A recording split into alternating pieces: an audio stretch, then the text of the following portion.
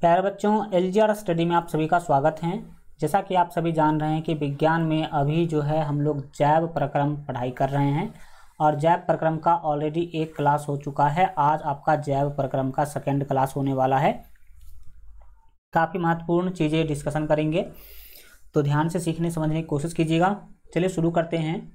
और हमारा जो आप फ़र्स्ट टॉपिक है आज का, वह है पोषण के आधार पर जीवों के प्रकार। पोषण के आधार पर हम जीवों के प्रकार पढ़ने वाले हैं। जैसा कि आप लोगों ने देखा था कि पोषण जो होते हैं, वो दो प्रकार के होते हैं। पोषण कितने प्रकार के होते हैं? दो प्रकार के होते हैं। स्वपोषी पोषण और परपोषी पोषण तो अब हम लोग पोषण के आधार पर जीवों के प्रकार पढ़ने वाले हैं कि आखिर पोषण के आधार पर कितने प्रकार के जीव होते हैं। तो याद रखिएगा कि पोषण के आधार पर दो प्रकार के जीव होते हैं, स्वपोषी और परपोषी। तो स्वपोषी किसे कहेंगे? तो वह जीव जो अपना भोजन स्वयं बना लेता है या फिर स्वयं संश्लेषित कर लेता है, उस जीव को कहते हैं हम स्वपोषी। इसमें आते हैं हरे पेड़ पौधे और वह जीव जो अपने भोजन के लिए स्वपोषी पर या फिर किसी दूसरे जीव या, जीव पर निर्भर होते उसे कहते हैं परपोषी। देखिए कि पोषण के आधार पर दो प्रकार हो, आ, होते हैं जीवों के स्वपोषी और परपोषी। सबसे पहला जानेंगे कि स्वपोषी किसे कहते हैं।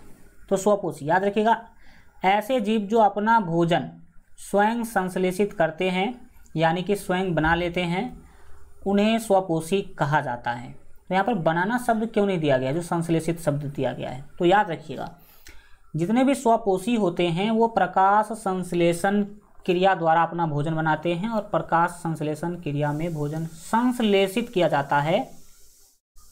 तो इसीलिए हम संश्लेषित करते हैं बोलते हैं, ठीक है?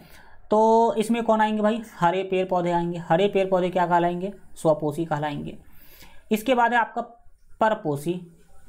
परपोषी मतलब सीधा अर्थ इसका है, पर मतलब दूसरे। अपने पोषण के लिए दूसरे पर जो जीव या फिर जो भी चीज़ें निर्भर होते हैं, उसे परपोषी कहते हैं। तो क्या बोलेंगे परिभाषा में? ऐसे जीव जो अपना भोजन स्वयं जो है, ऐसे जीव जो अपना भोजन स्वपोषियों एवं अन्य सजीवों से प्राप्त करते हैं, स्वपोषी कहलाते हैं। अपना बीज भोजन वह या तो स्वपोषी से लेगा, यानी कि पेड़ पौधा से लेगा, या अन्य सजीव से प्राप्त करेगा। उसे स्वपोषी कहते हैं। जैसे कि मनुष्य जानवर, पक्षी, ये सभी परपोषी कहलाते हैं। मनुष्य भी अपना भोजन पेड़ पौधों से लेता है, या फिर जीव, मछली, मुर्गा, खस्सी, ये सब सब पता है आप लोगों को। जानवर भी अपने भोजन के लिए दूसरे पर निर्भर है, पक्षी भी अपने भोजन के लिए दूसरे पर निर्भर है। तो जितने भी चीज़ें आप देख पा रहे हैं पेड़ पौधे को छोड़कर वो सभी परपोषी हैं। इसके बाद आप चलेंगे अगला टॉपिक पढ़ने। अभी तक हम लोगों ने भोजन के बारे में बहुत चीज़ सुना कि पोषण के लिए सबसे ज़्यादा महत्वपूर्ण भोजन है भोजन है भोजन है। तो हमें पता होना चाहिए कि भोजन क्या है।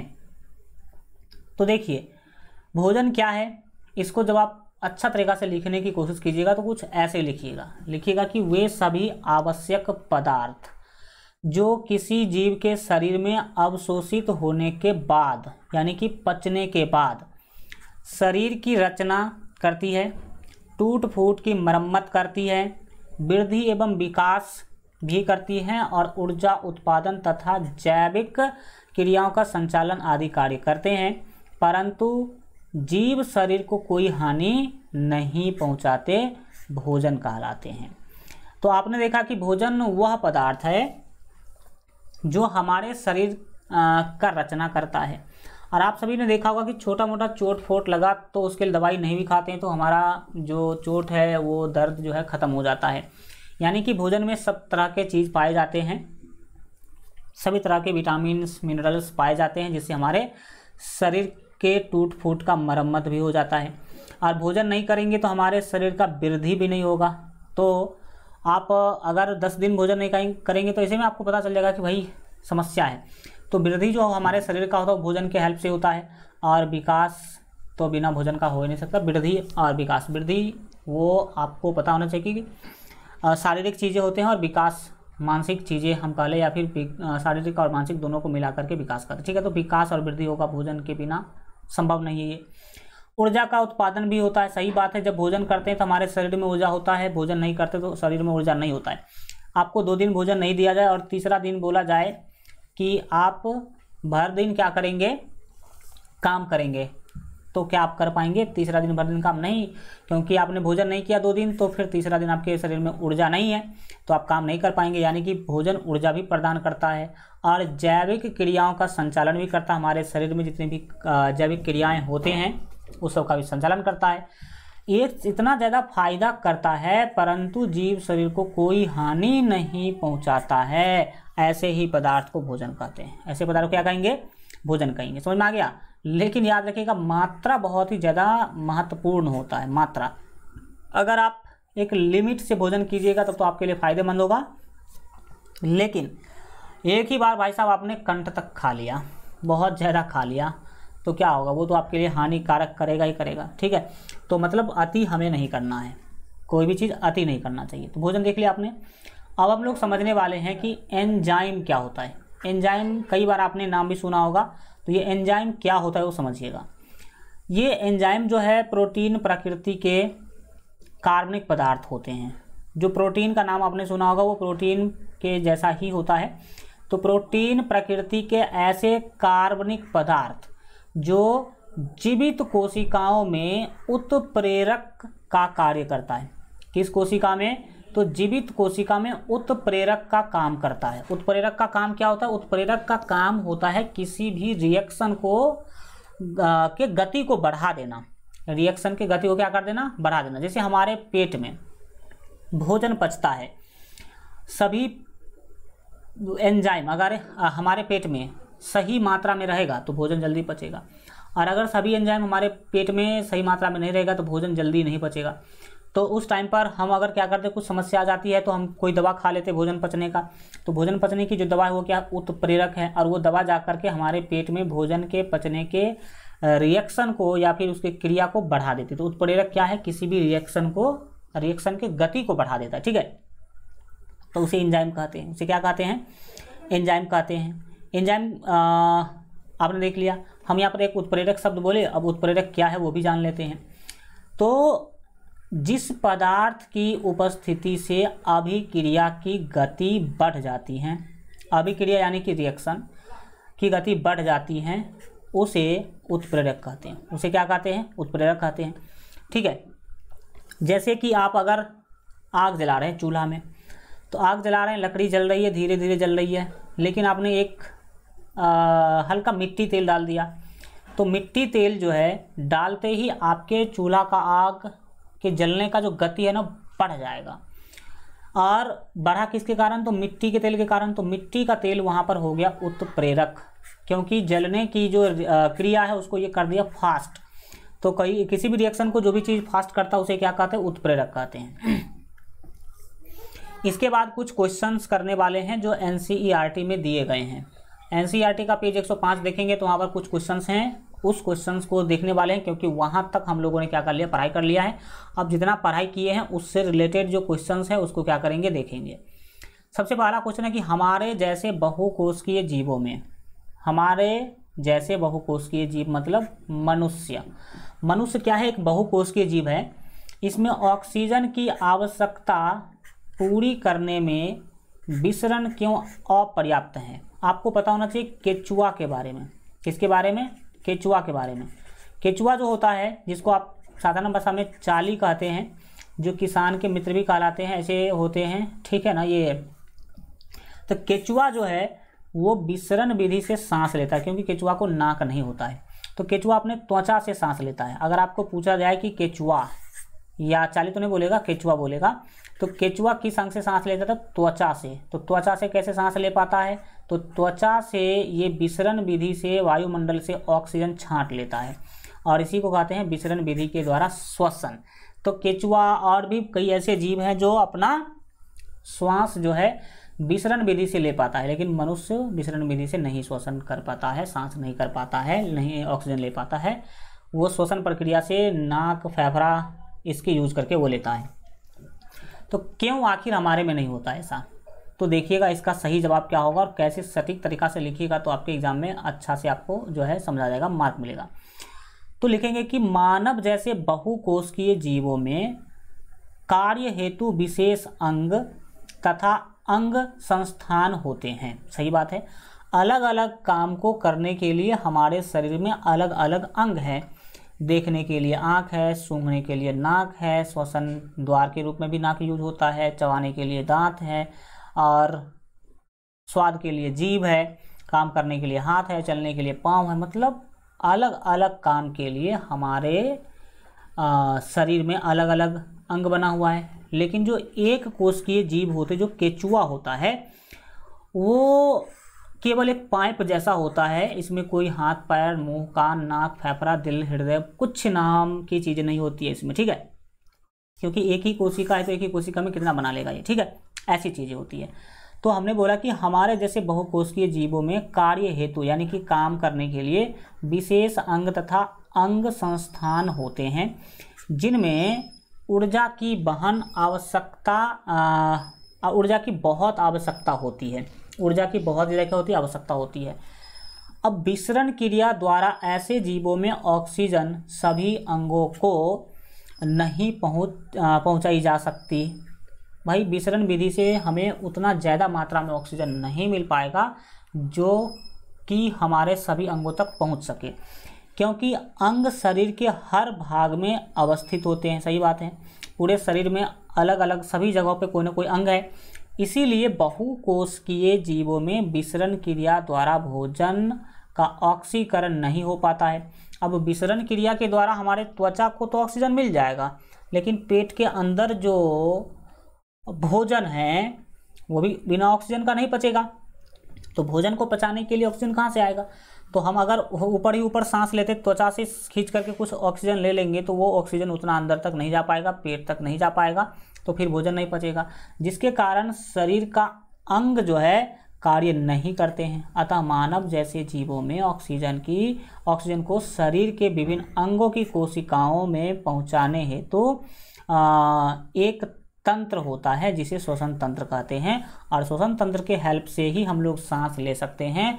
त्वचा के हेल्प से केचुआ जैसे सांस विसरण विधि से हम लोग नहीं ले सकते हैं, ठीक है?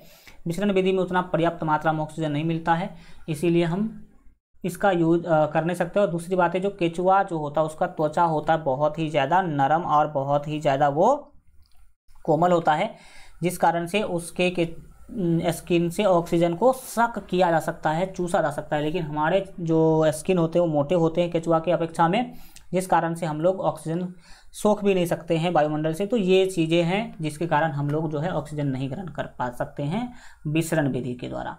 अगला जो महत्वपूर्ण क्वेश्चन है वो है कोई सजीव ठीक है कोई वस्तु सजीव है इसका निर्धारण करने के लिए हम किन आ, हम किस मापदंड का उपयोग करेंगे? सीधी सी बात है आ, आप कैसे बताएँगे कि कोई सजीव कोई भी वस्तु सजीव है कि निर्जीव है? तो सजीव या निर्जीव का बहुत सारा क्राइटेरिया हम आपको बता चुके हैं तो देखते हैं कि क्या क्या कर सकते हैं आप सजीव निर्जीव के लिए कैसे बता सकते हैं? तो बोलेंगे कि हमारे चारों ओर उपस्थित वस्तुओं में से सजीव तथा निर्जीव वस्तु की दृष्टि के लिए जो है सामान्य रूप से सॉरी पुष्टि के लिए अब कोई सजीव है कि निर्जीव है इसकी पुष्टि के लिए है ना? सामान्य रूप से उनमें होने वाले गति को देखते हैं। किसको देखते हैं? गति को देखते हैं। यदि वस्तु बिना बाहरी शक्ति के गति करते हैं तो उसे सजीव कहते हैं। सही बात है। गति कर रहा अगर एक जगह से दूसरी जगह जा रहा है या फिर उसका कि कोई अंग एक जगह से दूसरी जगह जा रहा है, बिना किसी बाहरी शक्ति के, बिना उस पर बल लगाए ही ये काम हो रहा है तो उसे सजीव कहते हैं। उसे क्या कहते हैं? सजीव कहते हैं।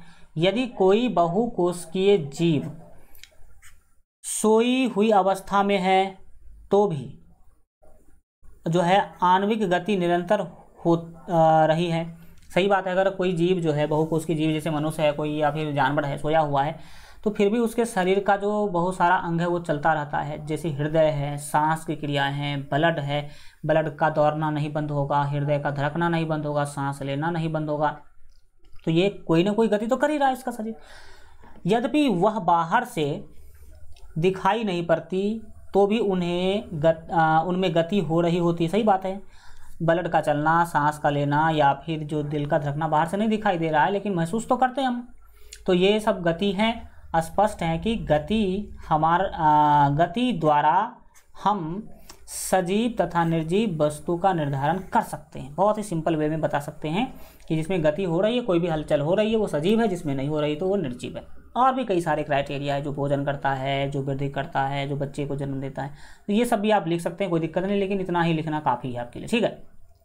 इसके बाद अगला क्वेश्चन है कि किसी जीव द्वारा किन कच्ची सामग्री सामग्रियों को आ, का उपयोग किया जाता है? कोई भी जीव अपने ज़िंदगी को चलाने के लिए किस किस चीज़ों का उपयोग करता है। तो जितने भी चीज़ हम उपयोग कर रहे हैं ना, सब कार्बनिक पदार्थ है। सब में कार्बन होते हैं। क्या होते हैं? कार्बन भोजन हो या श्वसन हो, वो सारे के सारे कैसे पदार्थ होते हैं? कार्बनिक पदार्थ होते हैं। तो आइए किस किस चीज़ों का यूज़ करते हैं, उसका डिटेल व्याख्या हम आपको देते हैं। लिखिएगा कि जीवधारी में प्रत्येक कोशिकाएँ कार्बनिक यौगिकों द्वारा निर्मित होती हैं। हमारे शरीर में जितने भी कोशिका है, वो कार्बनिक यौगिकों का बना हुआ है। जिसमें कार्बन प्रमुख अवयव होता है, यानी कि कार्बन होता ही होता है। इन कोशिकाओं का जीवन काल निश्चित होता है। मतलब फिक्स होता है कि ये इतना साल जीवित रहेगा या फिर 20 साल या 25 साल। हमारे शरीर की जो कुछ कोशिकाएँ वो, जिसके पश्चात जीव की मृत्यु हो जाती है। सही बात है? और उसके बाद हमारा शरीर क्या है? मर जाता है। कुछ कोशिकाएँ कुछ निश्चित सीमा तक विकसित होती हैं। तत्पश्चात वह विभाजित होती हैं। विकसित हुआ, फिर टूट गया दो भागों में। जिसके जीवन काल में उसे सभी जैविक क्रियाओं को करने के लिए ऊर्जा की आवश्यकता होती है, जो उसे कार्बनिक यौगिकों के विघटन से प्राप्त होता है। अब जब जो भी कार्य है, वो अपने ज़िंदगी में करेगा मतलब जो भी हमारे शरीर के अंग है, वो कुछ ना कुछ काम करते रहते हैं तो उसको काम करने के लिए ऊर्जा की ज़रूरत तो पड़ेगी पड़ेगी।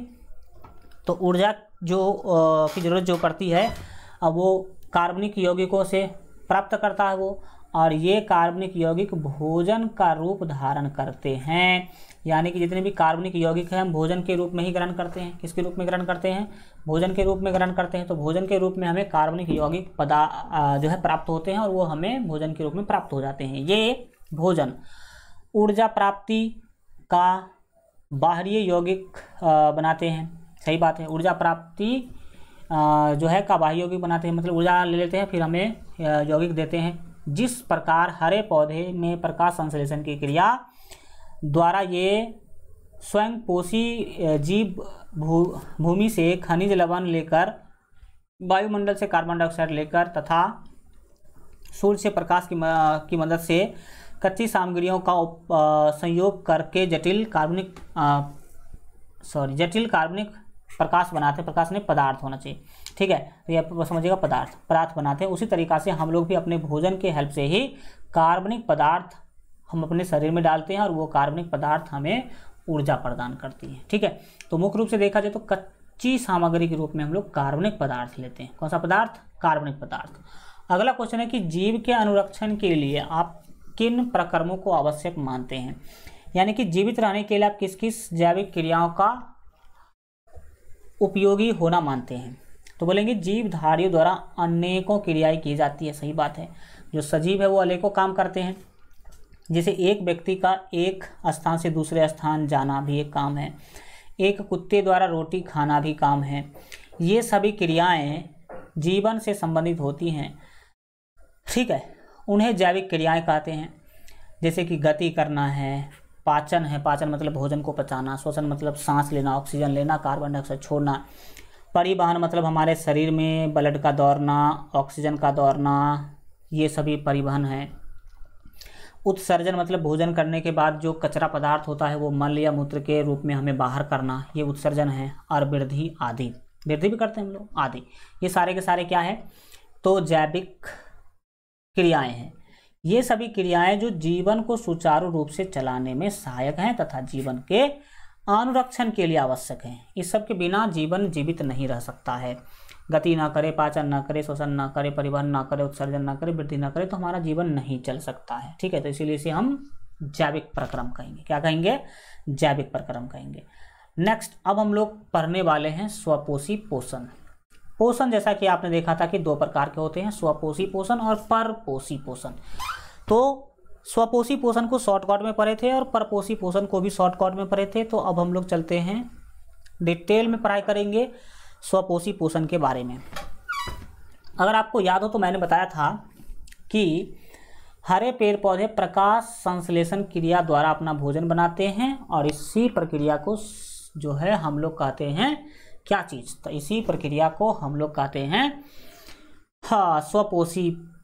मतलब देखो भाई, प्रकाश संश्लेषण एक प्रक्रिया है जिससे हरे पेड़ पौधे अपना भोजन बना लेते हैं बिना किसी के हेल्प से।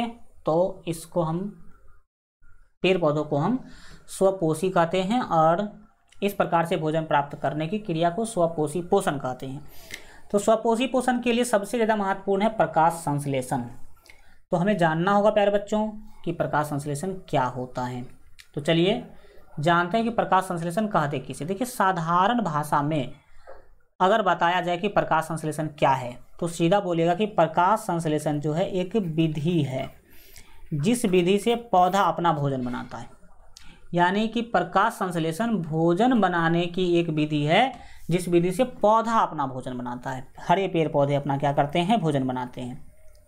इसी को डिटेल में लिखने की कोशिश कीजिएगा तो बोलिएगा, हरे पेड़ पौधे सूर्य प्रकाश, कार्बन डाइऑक्साइड, जल एवं क्लोरोफिल की मदद से अपना भोजन बनाते हैं। भोजन बनाने की इस प्रक्रिया को प्रकाश संश्लेषण कहते हैं। प्रकाश संश्लेषण को एक संपूर्ण रासायनिक समीकरण के रूप में इस प्रकार व्यक्त किया जा सकता है, जो कि हम आपको नीचे दिखा रहे हैं।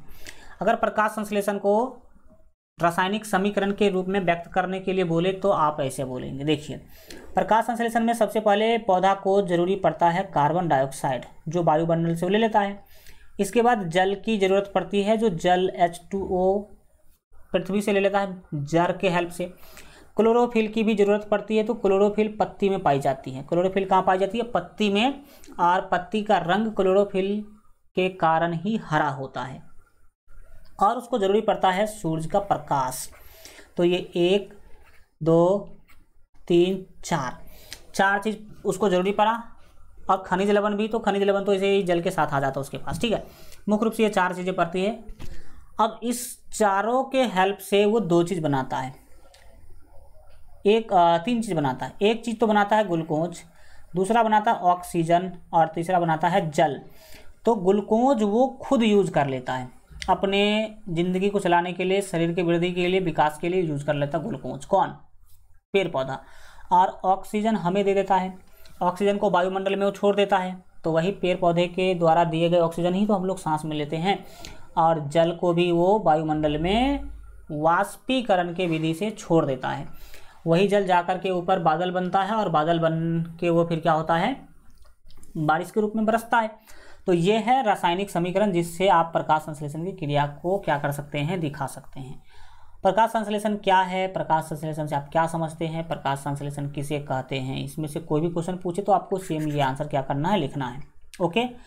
चलिए अब देखते हैं जो कि रिलेटेड है प्रकाश संश्लेषण से ही। प्रकाश संश्लेषण के लिए आवश्यक कच्ची सामग्री। प्रकाश संश्लेषण क्रिया के लिए कौन कौन सी चीज़ें ज़रूरी है वो? पहला है सूर्य का प्रकाश, जो सूर्य से लेते हैं पौधे। क्लोरोफिल पत्ती से पत्ती में पाए जाते हैं। कार्बन डाइऑक्साइड वायुमंडल से ले लेते हैं और जल एवं खनिज लवण मिट्टी से ले लेते हैं। मिट्टी में जल है और खनिज लवण मतलब मिनरल्स है जो कि उसको ज़रूरी है। खाद समझ लो साधारण भाषा में, ठीक है? तो वो लेते हैं मिट्टी से। पूछेगा कि कौन सी कहाँ सामग्री कहाँ से ली जाती है तो आपको इसी तरह से बताना होगा, ठीक है? अब प्रकाश संश्लेषण का महत्व। भाई साहब, प्रकाश संश्लेषण मानव जीवन के लिए बहुत ही ज़्यादा महत्वपूर्ण है। क्यों? क्योंकि अगर प्रकाश संश्लेषण नहीं होगा तो पौधे का भोजन नहीं बनेगा और पौधे का भोजन नहीं बनेगा। तो पौधे ऑक्सीजन नहीं छोड़ पाएँगे। और पौधे ऑक्सीजन नहीं देंगे तो भाई हम क्या लेंगे? ऑक्सीजन हम कहाँ से लाएँगे? मनुष्य ऑक्सीजन कहाँ से लाएगा? तो ये इतना महत्वपूर्ण है, आप देख सकते हैं, केवल ऑक्सीजन के टर्म में। और भी बहुत सारी चीज़ हमको पौधा से मिलता है, सबका वर्णन करते हैं। प्रकाश संश्लेषण पौधों के जीवन के लिए अति आवश्यक है। साथ ही यह संपूर्ण सृष्टि के लिए भी आवश्यक है। सही बात है। प्रकाश संश्लेषण पौधा के जीवन के लिए तो ज़रूरी है ही, क्योंकि अगर प्रकाश संश्लेषण नहीं होगा तो पौधा को ग्लूकोज नहीं मिलेगा और फिर पौधे क्या हो जाएँगे भाई? सूख जाएँगे। तो पौधा के जीवन के लिए तो ज़रूरी है ही। और साथ ही साथ याद रखिएगा कि मनुष्य के लिए भी बहुत ही ज़्यादा ज़रूरी है। क्यों? क्योंकि पौधे प्रकाश संश्लेषण द्वारा ऑक्सीजन गैस मुक्त करती हैं, यानी कि ऑक्सीजन गैस वायुमंडल में छोड़ती हैं, जो जीवन का आधार है। सही बात है भाई साहब। ऑक्सीजन के बिना ज़िंदगी है ही नहीं। आप सोच ही नहीं सकते। दो मिनट भी आप बिना ऑक्सीजन के नहीं रह सकते हैं। अतः प्रकाश संश्लेषण के बिना जीवन संभव नहीं है। देख सकते इतना बड़ा महत्वपूर्ण चीज़ है। ठीक है। हम प्रकाश संश्लेषण क्रिया का जो रासायनिक समीकरण है, उसमें एक चीज़ डिस्कशन करना भूल गए तो उसको कर ही देते हैं। याद रखिएगा कि प्रकाश संश्लेषण क्रिया के लिए पौधा को कार्बन डाइऑक्साइड जो है, उसके छः अणु चाहिए। कार्बन डाइऑक्साइड के कितने अणु चाहिए? छः अणु। एग्ज़ाम में पूछेगा कि कार्बन डाइऑक्साइड के कितने अणु यूज़ करते हैं पौधा छः अणु। और जल के कितने अणु यूज़ करते हैं? एच टू क्या है? जल है। तो जल के बारह अणु। तो कार्बन डाइऑक्साइड के छः अणु, जल के बारह अणु के साथ क्लोरोफिल और सूर्य के प्रकाश के उपस्थिति में जब प्रकाश संश्लेषण क्रिया होती है तो ग्लूकोज के एक अणु बनते हैं। यहाँ पर कुछ भी नहीं है तो क्या है? एक है। तो ग्लूकोज के एक अणु बनते हैं। ग्लूकोज का सूत्र भी आप यहाँ से याद रख लेगा रखिएगा C six H twelve O six ये ग्लूकोज का सूत्र है। तो ग्लूकोज के एक अणु प्राप्त होते हैं। और ऑक्सीजन ओ टू मतलब ऑक्सीजन गैस। देखिए, केवल ओ लिखा है तो ऑक्सीजन तत्व। ओ टू लिखा है तो ऑक्सीजन गैस। ठीक? और अगर ओ थ्री लिखा है तो ओजोन गैस ओ थ्री क्या होता है? ओजोन गैस होता है। तो हम ओजोन का और चर्चा करेंगे तो ओ वन मतलब ओ वन तो लिखा जाएगा नहीं। तो ओ मतलब ऑक्सीजन तत्व ओ टू मतलब ऑक्सीजन गैस और ओ थ्री मतलब ओजोन तो प्रकाश संश्लेषण में ऑक्सीजन के कितने अणु बनते हैं? छः अणु बनते हैं और जल के भी छः अणु बनते हैं। ये आप याद रखिएगा, हमने डिस्कशन कर दिया ताकि आपको इसकी भी जानकारी जो है मिल जाए। ठीक? अब ये आपने देख लिया कि हमारे लिए कितना ज़्यादा ज़रूरी है प्रकाश संश्लेषण। अब बढ़ेंगे आगे। और प्रकाश संश्लेषण के समय कौन कौन सी घटनाएँ घटती है उसके बारे में बात करते हैं। तो याद रखिएगा कि क्लोरोफिल द्वारा प्रकाश ऊर्जा अवशोषित होती है। प्रकाश से, सूर्य के प्रकाश से प्रकाश ऊर्जा लेने का काम कौन करती है? क्लोरोफिल, सोख लेती है। ऊर्जा को क्या कर लेती है? सोख लेती है। बिना अगर जिस दिन सूर्य नहीं उगेगा, समझ लीजिएगा, उस दिन पौधा का भोजन नहीं बना। क्योंकि बिना सूर्य के प्रकाश का पौधा का भोजन बन ही नहीं सकता है। अगर आप किसी पौधा को ढक दीजिएगा सूर्य का प्रकाश नहीं मिलने दीजिएगा तो वो भोजन नहीं बना पाएगा और वो पीला पड़ जाएगा। आपके घर के आसपास अगर कहीं घास है तो उस घास पर एक ईंटा डाल दीजिएगा। क्या डाल दीजिएगा? ईंटा। और फिर इस ईंटा को दस दिन के बाद हटाइएगा, ठीक है? हटाइएगा तो आपको पता चलेगा कि ईटा के नीचे का जो घास है वो पीला पड़ चुका है। क्या पड़ चुका है? पीला। क्यों पीला पड़ गया? सब कुछ तो मिल ही रहा था, लेकिन सूर्य का प्रकाश नहीं मिल रहा था। इसी कारण से उसका भोजन नहीं बन पाया और वो पीला पड़ गया, ठीक है? ये प्रैक्टिकल करके देखिएगा आप। इसके बाद हाँ तो जो प्रकाश ऊर्जा है, वो कौन लेता है? तो क्लोरोफिल सोख लेता है। दूसरा क्या कि सौर ऊर्जा का रासायनिक ऊर्जा में रूपांतरण भी वहाँ पर होता है। सौर ऊर्जा को बदल दिया जाता है रासायनिक ऊर्जा में। तीसरा, जल अणुओं का H2 और O2 में अपघटन हो जाता है, टूट जाता है। कार्बन डाइऑक्साइड से ग्लूकोज बनता है। ये सारी की सारी चीज़ें होती हैं प्रकाश संश्लेषण के टाइम पर, ठीक? ये प्रकाश संश्लेषण आपने देख लिया। अब समझेंगे रंध्र क्या है। एस्टोमाटा कहते हैं इसको। रंध्र या एस्टोमाटा रंध्र क्या होता है ज़रा ध्यान से समझने की कोशिश कीजिएगा। मान लीजिए कि ये कोई पत्ती है, किसी पेड़ का क्या है? पत्ती है। हमें तो बनाने नहीं आता, फिर भी मैं बनाने की कोशिश करता हूँ। मान लीजिए किसी पेड़ का क्या है? पत्ती है। पत्ती पर जो है छोटे छोटे छिद्र पाए जाते हैं। पत्ती पर क्या पाए जाते हैं? छोटे छोटे अनंत छिद्र पाए जाते हैं। उसे ही रंध्र कहते हैं। उसे क्या कहते हैं? रंध्र कहते हैं। तो आप बोलेंगे कि ये रंध्र है, इसका काम क्या होता है? रंध्र का काम होता है श्वसन का, यानी कि सांस लेने का। यही रंध्र से पौधा कार्बन डाइऑक्साइड लेता है और ऑक्सीजन छोड़ता है। कार्बन डाइऑक्साइड लिया और ऑक्सीजन क्या किया? छोड़ा, ठीक है? और जल को भी पौधा इसी रंध्र, यानी कि छिद्र से बाहर निकालता है।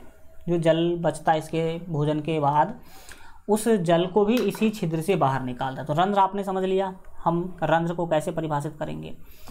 पेड़ पौधों की पत्तियों की सतह पर छोटे छोटे छिद्र पाए जाते हैं, जो खुली हुई अवस्था में गैसों के विनिमय, अगर खुला होता है छेद तो गैस का विनिमय होता है, यानी कि कार्बन डाइऑक्साइड लेता है, ऑक्सीजन छोड़ता है, तथा वाष्पोत्सर्जन, यानी कि जल को भाप के रूप में निकालता है। ठीक है?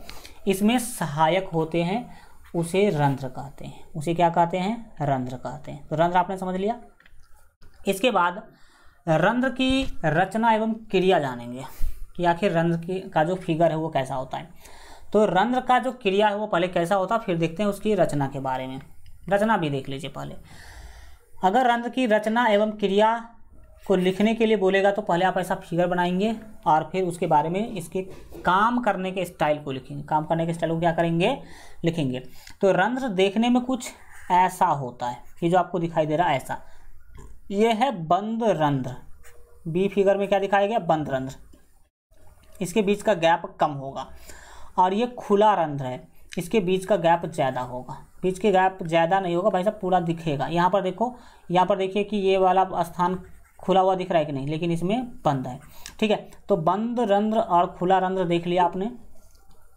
ये जो आपको दिखाई दे रहा है, ये पार्ट और ये पीला वाला पार्ट इसे कहते हैं, द्वार कोशिकाएँ। मतलब ये गेट है, एक तरह से अगर सट गया तो बंद हो गया, और अगर हट गया तो खुला है। और रंध्र किसे कहते हैं? ये जो छिद्र है, इसे ही रंध्र कहते हैं, रंध्र कहते हैं, ठीक है?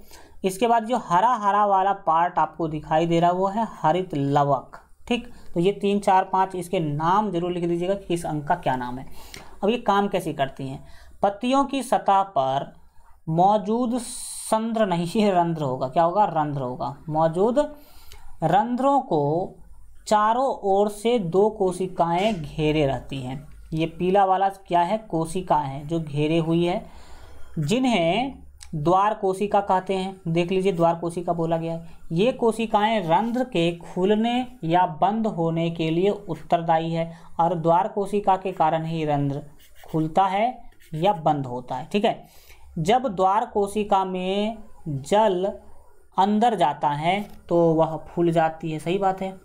जिससे छिद्र खुल जाता है और जब द्वार कोशिकाएँ सिकुड़ती हैं तो बंद हो जाती हैं। सिकुड़ेगी तो क्या हो जाएगी? बंद हो जाएगी। तो इस तरीका से रंध्र जो है कार्य करती है। ये आप क्या करेंगे? याद रखने की कोशिश करेंगे। अब विषम पोषी पोषण पढ़ना है, ठीक है। तो देखते हैं आगे और आगे की चीज़ों को अब क्या करेंगे हम लोग? समझेंगे कि आखिर विषम पोषी पोषण क्या होता है। ठीक? तो विषम पोषी पोषण समझते हैं दस मिनट क्या होता है विषम पोषी पोषण, इसके बारे में दो तीन चीज़ें हम डिस्कशन करेंगे और बाकी के आगे के चीज़ों को हम अगले क्लास में क्या करेंगे? डिस्कशन करेंगे। चलिए विषम पोषी पोषण का आज शुरुआत कर लेते हैं। दो तीन चीज़ें इसके बारे में जान लेते हैं कि आखिर विषम पोषी पोषण होता क्या है। तो अभी जस्ट हम लोग पढ़ाई कर रहे थे स्वपोषी पोषण। स्वपोषी पोषण में मुख्य चीज़ था प्रकाश संश्लेषण। और प्रकाश संश्लेषण से ही हरे पेड़ पौधे अपना भोजन बनाते हैं, इसीलिए उसको स्वपोषी कहते हैं। अब विषम पोषी पोषण में हरे पेड़ पौधे को छोड़ करके बाकी के सभी जीव आते हैं। तो विषम पोषी पोषण में क्या क्या ज़रूरी है कैसे कैसे भोजन का पाचन होता है, वो सभी हमें क्या करना है, पढ़ाई करना है। और विषम पोषी पोषण किसे कहते हैं ना, प्यार बच्चों? वो तो ऑलरेडी हम लोग पिछले क्लासों में ही डिस्कशन कर चुके हैं कि विषम पोषी पोषण किसे कहते हैं। तो आइए जानते हैं। या सबसे फ़र्स्ट क्वेश्चन यहाँ पर हमें पढ़ना होगा कि जीव अपना भोजन कैसे करते हैं? जीव अपना पोषण कैसे करते हैं? जो कोई भी जीव है, वो अपना पोषण कैसे करते हैं? तो इसका सही उत्तर क्या होगा? देखने की कोशिश कीजिएगा। एक कोष के जीव में पोषण पहले पढ़ेंगे, फिर दुई कोशिकीय जीव, बहु कोष के जीव में पोषण पढ़ेंगे। तो याद रखेंगे कि एक कोशिकीय जीव अपना भोजन संपूर्ण सतह से ले सकते हैं, जैसे कि अमीबा और पैरामीशियम ये अपने पूरे शरीर के हेल्प से भोजन को अवशोषित कर लेता है। लेकिन हम लोगों में क्या है कि भोजन को मुँह से ही ले सकते हैं। मुँह में डालेंगे, फिर वो कंठ होते हुए पेट में जाएगा, ठीक है? और तब जाकर उसका पाचन होगा। लेकिन अमीबा में ऐसा नहीं होता, वो अपने पूरे शरीर के हेल्प से भोजन लेता है। उसमें कोई मुँह, नाक का कोई कंसेप्ट नहीं होता है। अगर अमीबा में भोजन ग्रहण करने की चीज़ों को अगर दिखाने के लिए बोले तो आप ऐसे क्या कर सकते हैं? दिखा सकते हैं, जैसा हम यहाँ पर दिखाए हैं। अमीबा में पोषण, यानी कि अमीबा अपना भोजन कैसे ग्रहण करता है, उसको अगर चित्र द्वारा समझाने के लिए बोलेगा तो आप ऐसे समझाएँगे और इसमें इस चीज़ को भी लिख देंगे तो बेटर होगा। क्या होता है? सबसे पहले देख लीजिए, ये भोजन है। खाद्य पदार्थ मतलब भोजन और ये अमीबा का केंद्रक है। ये अमीबा है, ठीक है? आप कैसे भी स्टार स्टार बना दीजिए, अमीबा बन जाता है। अमीबा का कोई शेप फिक्स नहीं होता, आकार फिक्स नहीं होता है। तो ये अमीबा है और ये लाल वाला चीज़ भोजन है। तो ये अमीबा के आसपास अगर भोजन आता है तो ये अपने आप के शरीर को ऐसे बनाता है ताकि वो भोजन अंदर चला जाए। तो फ़र्स्ट स्टेप में ऐसा है। सेकेंड स्टेप में देखिए, ये अपने शरीर को हल्का इधर नमरा लिया और इसको भी हल्का इधर नमरा लिया और भोजन को अंदर फंसा लिया।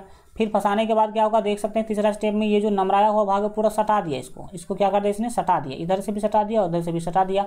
सटा देने के बाद क्या हो गया भाई साहब? भोजन चला गया अंदर और उस भोजन को फिर देख सकते हैं कि फाइनली अंदर खींच लिया। कहाँ खींच लिया? यहाँ पर फाइनली भोजन को क्या कर लिया? खींच लिया और फिर उसका पाचन करेगा अंदर में जा करके वो, ठीक है? इसी को आप देखेंगे, भोजन को अपने पाद पादाभ की सहायता से घेर लेता है। देखो घेर लिया, पहले कि नहीं, पादाभ की सहायता से। खाद रिक्तिका में भेजता है। खाद रिक्तिका में जटिल पदार्थ का भी गठन सरल पदार्थ में किया जाता है। इसको सरल छोटे छोटे टुकड़ों में तोड़ा जाता है और बचा हुआ अपच कोशिका की सतह की ओर गति करता है। अगर जो चीज़ नहीं बचा, उसको बाहर फिर निकाल देता है और ये पदार्थ शरीर से बाहर निष्कासित कर दिया जाता है, यानी कि निकाल दिया जाता है। ठीक है, जैसे हम लोग बिना पचे हुए पदार्थ को बाहर निकालते हैं, वही सिस्टम है ये। तो एक कोष के जीव में आपने देख लिया कि पोषण कैसे होता है। अब हम लोग जो है पैरामीशियम में पोषण कैसे होता है? इसके बाद आगे जो चीज़ें हैं मनुष्य में पोषण कैसे होता है ये सब चीज़ हम लोग क्या करेंगे? अगले क्लास में डिस्कशन करेंगे। तो आज के लिए नहीं रखते हैं। कुछ ज़्यादा लंबा हो जाएगा चीज़ें समझने में आपको ठीक है?